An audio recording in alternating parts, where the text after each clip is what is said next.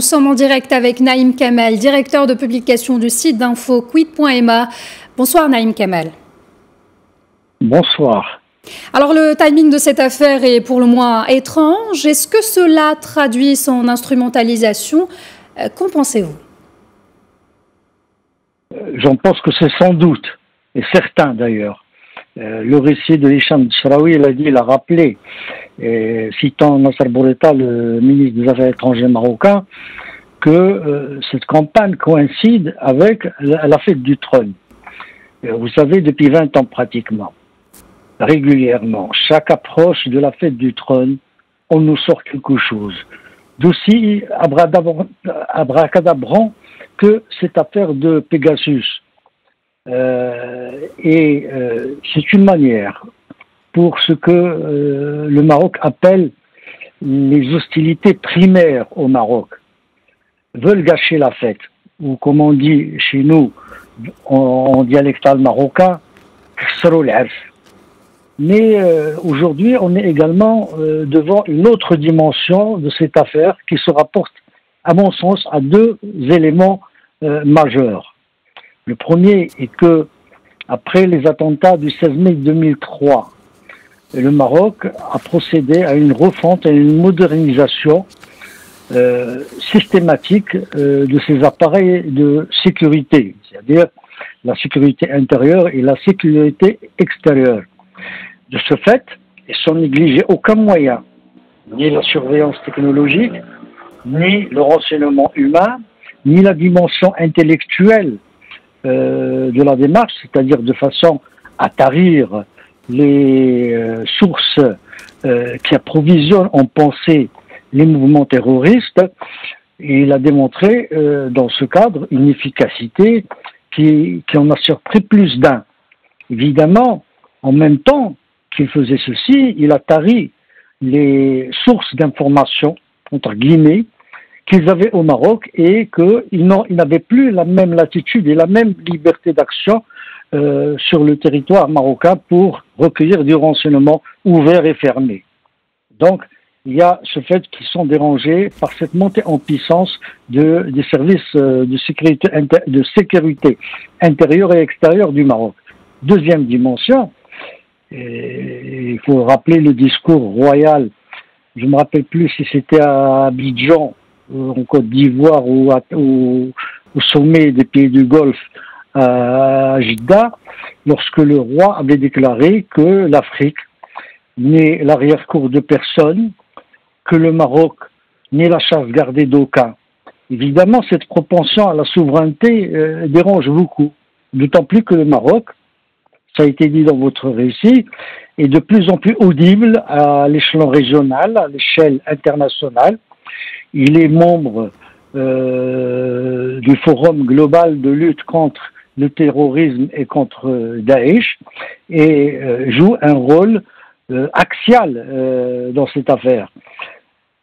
Sans compter que le Maroc a une propension à la souveraineté, à exiger le respect de cette souveraineté, de choisir ses partenaires selon ses intérêts, c'est-à-dire pas selon une prétendue amitié ou fraternité ou je ne sais quel legs historique que nous aurions hérité et qui nous obligerait à, à, à continuer à privilégier des intérêts au détriment des intérêts du Maroc. Euh, je ne sais pas si vous m'entendez toujours. Exactement, je vous euh, entends. Je vous entends. Vous m'entendez très bien parce que moi j'ai perdu l'image. Euh, donc, tout, le Maroc a réalisé un certain nombre de progrès économiques, so, sociétal, social également.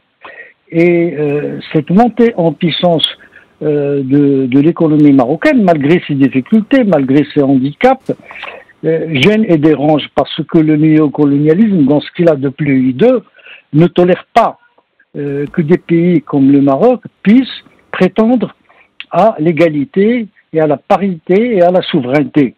Je vais vous citer, je vais vous le lire d'ailleurs, il y a euh, en pleine crise, en pleine crise maroco-espagnole, il y a eu un éditorial du journal Le Monde qui est le porte-parole de ce néocolonialisme hideux, et il faut le dire, avait, avait commis un éditorial où il nous dit au nom d'une amitié, qui est l'amitié, qui doit rester exigeante, tiens donc, le moment est venu pour les Européens, pas pour la France ou pour, pour, les Européens dans leur ensemble, le moment est venu pour les Européens, dit-il, de signifier au Maroc que son crédit à l'étranger est entamé.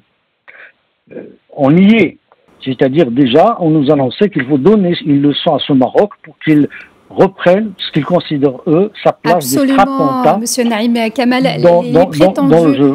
Absolument. Les prétendues fuites de ces écoutes ne concernent bizarrement que le Maroc. Je voudrais rebondir là-dessus. Est-ce que cela n'est pas un peu trop gros pour être pris au sérieux? Ben, vous connaissez la, vous connaissez l'adage qui dit plus c'est gros, plus, c'est gros, plus ça passe. Il, joue sur ça.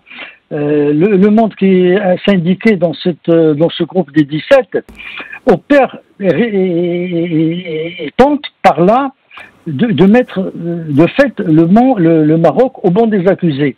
Alors, Forbidden Stories, Amnesty International, les 17 médias syndiqués dans ce conglomérat euh, gangstériste, il faut le dire, euh, deviennent les policiers, les enquêteurs, les juges et les bourreaux en même temps. Donc, ils, instruisent, ils jugent, et ils, émettent le verdict et ils exécutent la sentence. Euh, vous savez, c'est trop gros, 50 000 téléphones qui ont été soi-disant euh, répertoriés euh, et être susceptibles. Parce qu'on ne dit pas qu'ils ont été espionnés, mais qui étaient susceptibles de l'être.